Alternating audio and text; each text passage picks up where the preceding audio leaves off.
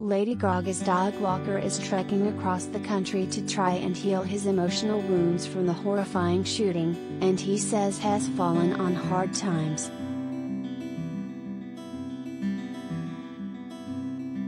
Ryan Fisher says has two months into a six month journey across America, which has calling a sabbatical, but now has crowdfunding, because he says his van broke down and he needs money for travel expenses.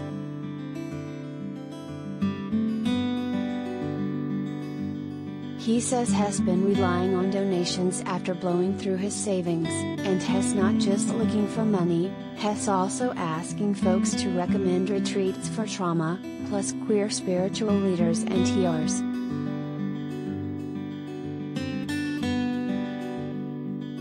Ryan says has felt scared, lonely, abandoned and unsupported during his first two months on the road, adding that Hess has long bouts of depression, doubt and self-pity.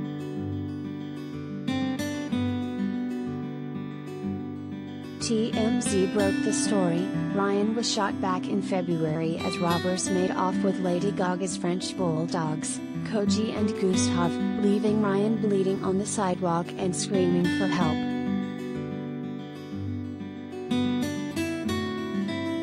The dogs were ultimately found unharmed, and the LAPD later arrested five suspects for the attempted murder and dog heist.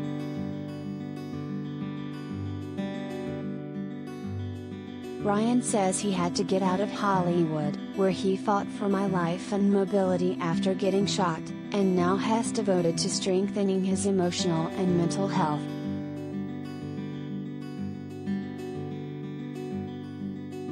He says Hess seeking out communities supporting those healing from trauma, including retreat centers, trauma programs, queer healers, creatives and spiritual leaders, but he needs help getting there now that his 1991 Ford Falcon van bit the dust.